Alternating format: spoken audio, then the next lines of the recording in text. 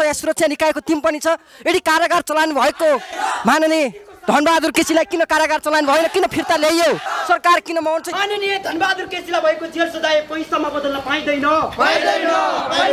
उहाँ हाम्रो माननीय धनबहादुर केसीज्यूलाई एक वर्ष जेल कैद सजाएर दुई दुई हजार जरिमाना सहित जुन खालको सजाय तोकिएको थियो आज एक दिन नबित्दै उहाँलाई कारागारमा नहाल्दै उहाँलाई सेटिङमा जुन खालको पावर पहुँचमा जुन खालको उहाँले नीति नियम र विधि पद्धति शासनलाई नै चाहिँ मिच्न खोज्नु भएको छ।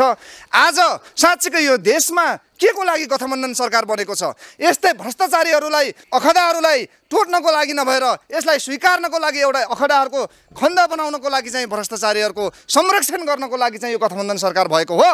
रुकुम पूर्वबाट निर्वाचित लुम्बिनी प्रदेशका सांसद धनबहादुर केसी डिबीलाई आजभन्दा तेत्तिस वर्ष पहिला साबिक रुकुम पूर्व जिल्लाको अदालतले श्रीमतीसँगको झगडामा कृत्य मुद्दामा दोषी ठहर गर्दै एक वर्ष कैद र दुई हजार जरिमानाको फैसला सुनाएको थियो। त्यस यता उहाँ फरारको सूचीमा रहँदै आउनुभएको थियो तर हिजो मात्रै सांसद धनबहादुर केसी जिल्ला अदालत रुकुम पूर्वमा आत्मसमर्पण गरेको भन्ने खबर बाहिरिए पनि उहाँ धनबहादुर केसी अदालतमा नभई हेलिकप्टर चार्टर गरी काठमाडौँ गएको भन्दै नेकपा माओवादी केन्द्रको भातृ संगठन अखिल क्रान्तिकारी रुकुम पूर्वले शान्तिपूर्वक तरिकाले आन्दोलन गर्दै सांसद धनबहादुर केसीलाई कारवाहीको माग गरेको छ। हिजो पनि मनोनयन दर्ता गर्दै गर्दा हेलिकप्टरबाट आएर मनोनयन दर्ता गर्ने र आज पनि हामीले देखेका छौँ उहाँ हेलिकप्टर मार्फत जानुभएको छ। खै आज रुक्मेली जनताले रुक्मेली समग्र न्यायप्रेमी जनसमुदायले समृद्धि र विकासको निम्ति रुकुम पूर्वको त्यो सिस्नेदेखि लिएर स्यालापाकसम्मका न्यायप्रेमी जनसमुदायले दिएको भोटको आज यही हो।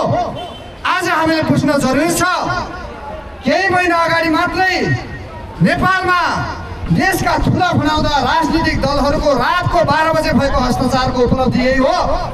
नेकपा एमाले र नेपाली काङ्ग्रेसले यो देशलाई समुन्नत र समृद्धिको बाटोमा दोहोऱ्याउनको लागि गरेको गठबन्धनको औचित्य यही हो।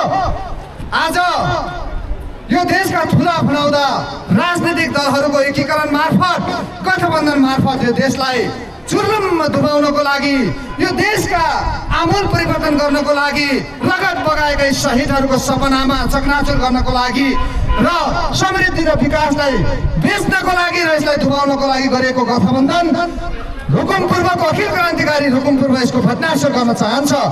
सम्पूर्ण जन- जनसमुदायहरू यो कुरा बुझ्न जरुरी छ।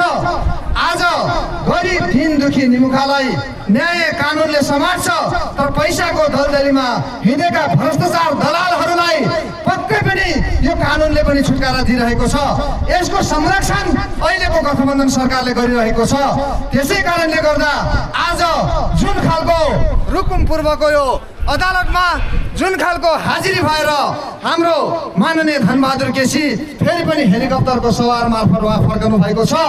हामीले आज न्यायपूर्ण तरिकाले शान्तिपूर्ण तरिकाले यो फोन सभा गरेका छौँ। सम्मानित जिल्ला अदालतलाई पनि हामीले जानकारी गरेका छौँ।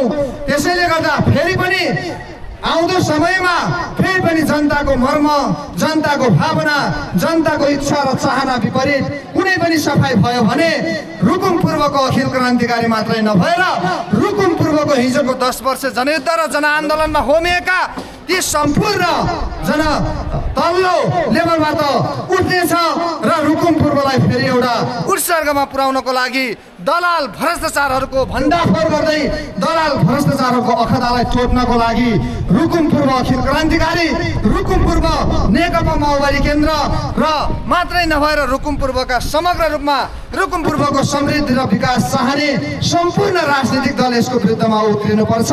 किनकि गलत काम गर्नेहरूलाई हामीले संरक्षण गर्नु हुँदैन। हिजोको दिनमा हिजोको समयमा प्रचण्ड नेतृत्वको सरकारले जुन खालको समुन्नत विकास समृद्धि सुशासनको नारा लगाउँदै हाम्रो यो जुन खालको शासन चलाउँदै आएको थियो। आज त्यसको विरुद्ध रातारात तपाईँको चाहिँ बाह्र बजे गरेको हस्ताक्षरको यो परिणाम हो।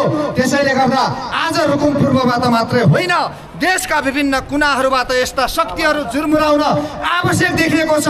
यस्ता प्रतिगामी तत्त्वहरूको विरुद्धमा लग्न सक्ने शक्तिहरू जुर्मुराउन आवश्यक देखिएको छ। भन्दै आज फेरि हाम्रो अखिल क्रान्तिकारी रुकुम पूर्वको र वैशाल नेपाल रुकुम पूर्वको समग्र रूपमा भएको यो कोन सभालाई उपस्थित सम्पूर्ण महानुभावहरूको बिचमा हाम्रो जनताको न्याय न्याय औचित्यको तरिकाले फैसला भएन भने फेरि अझै दोहोरो तरिकाले अर्को चरणमा यसको भटनासुर यसको चाहिँ माहौललाई अझै तताएर पक्कै पनि विरोध गर्ने कुराहरू ल्याउँदै आजको खोन सभालाई यही समापन भएको घोषणा गर्न चाहन्छु।